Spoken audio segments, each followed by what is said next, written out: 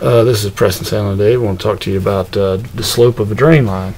Um, this could probably go under Jeff Foxworthy's You Might Be a Redneck.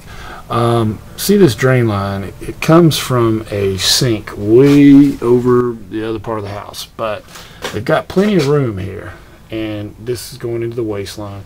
What they should do, it should gradually drop, but instead, this thing goes uphill. Not only does it go uphill, it would be so much easier to bring it downhill they cut the pipe, I mean, cut the, the joist, want you to see that, for it to go uphill. So you've got drain water that's trying to run uphill, they cut joist, and it's going down, going in there.